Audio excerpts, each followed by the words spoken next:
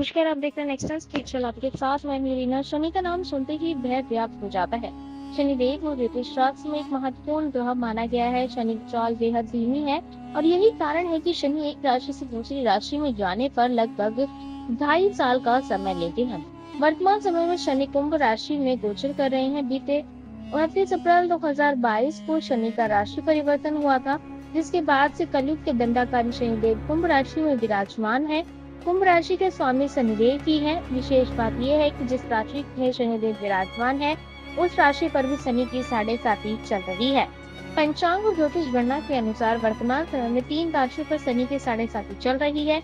ये राशियाँ कौन सी है और उन पर साढ़े साथी कौन सा चरण चल रहा है, आइए जानते हैं।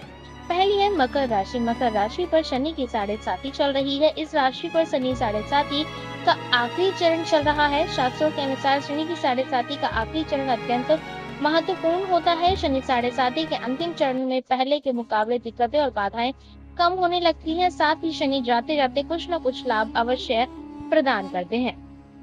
इसके अलावा दूसरी है कुंभ राशि। शनि अभी इसी राशि में विराजमान है। हालाँकि शनि की अपनी ही राशि है, लेकिन इस राशि पर भी शनि साढ़े साथी चल रही है। कुंभ राशि पर साढ़े साथी का दूसरा चरण चल रहा है। कुंभ राशि के स्वामी शनि है, इसलिए ये चरण अधिक कष्टकारी नहीं होगा, लेकिन गलत कामों से दूरी बनाकर रखनी होगी, नहीं तो शनिदेव कठोर दंड प्रदान करेंगे, क्योंकि दूसरे चरण को साढ़े साथी का शिखर चरण बताया गया है।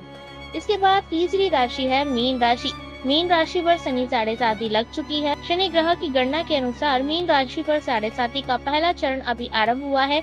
ज्योतिष शास्त्र में शनि के पहले चरण को उदय चरण भी कहा जाता है। पहले चरण होने के कारण मीन राशि वालों को जॉब करियर बिज़नेस में विशेष ध्यान देना होगा। इसके साथ ही धन और सेहत के मामले में भी सतर्क रहना होगा।